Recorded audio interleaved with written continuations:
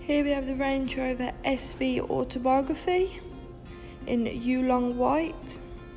You have a black contrasting roof, privacy glass, 21 inch alloys with a satin black finish,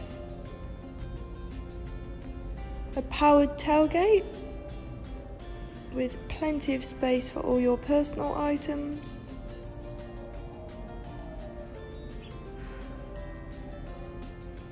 This car also has the stealth pack and an electrically deployable tow bar.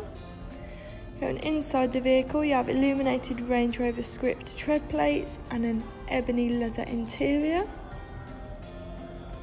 You also have a sliding panoramic roof which is great for letting in more light.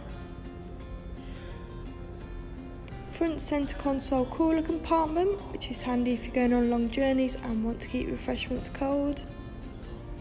Apple CarPlay and Android Auto, along with ambient lighting with several different colours to choose from, which can look cool especially in the dark. Making it easier to park and reverse. Everything can be controlled using the buttons on your wheel.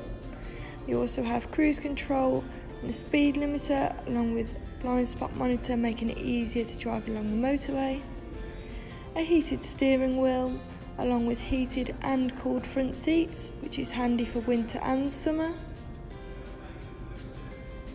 The front seats are also memory, which is ideal if there's several people driving the vehicle, and you also have a Meridian sound system. This car has done 33,270 miles. Stepping back outside the vehicle, that was the Range Rover SV Autobiography. If you're interested in this car, please call 01785 21131. Thank you.